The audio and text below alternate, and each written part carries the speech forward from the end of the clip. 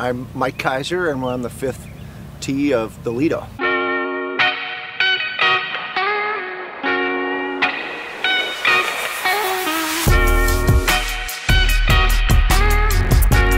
Uh, Lido is our newest golf course, uh, one that we're restoring that was lost in 1941. It was originally designed by C.B. Macdonald and, and built in 1917 on Long Island, uh, and we're restoring it here in Wisconsin.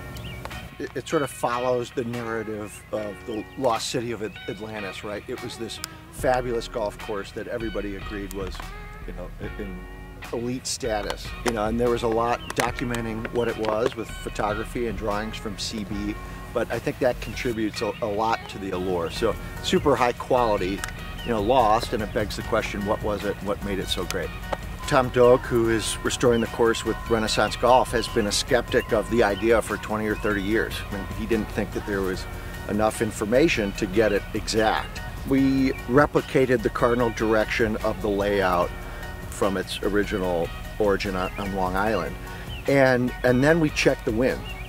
There's something called a wind rose and it shows the velocity and direction or frequency of the wind. And, and we got it for Long Island, we got it for Rome, Wisconsin, and they were almost exact. And had they not been, we probably wouldn't have built the golf course because the wind is such an integral uh, part of the, de the design.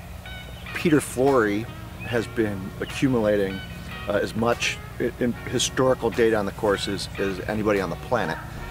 Building that into a computer model, outsourcing that, and when people see it and they have a hidden uh, bit of data, they've been sending it to them. So that, that when Tom reviewed what Peter had accumulated, he changed his position and said, we can, you know, do this uh, very accurately and, and, almost exactly. You know, what, what makes an elite course is no duds, you know, a really strong base and then some really high notes. To me, the Cape is one of them.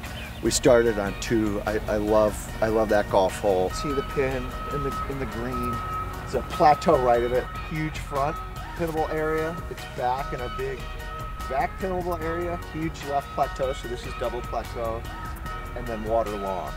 The, the channel hole and the 18th design by Alister MacKenzie are, are two of the most unique holes uh, out here and will really stand out. So those, those are four of them, but uh, there's eight or nine that are, are, are really pop out, and, and I can't wait to play every one of them.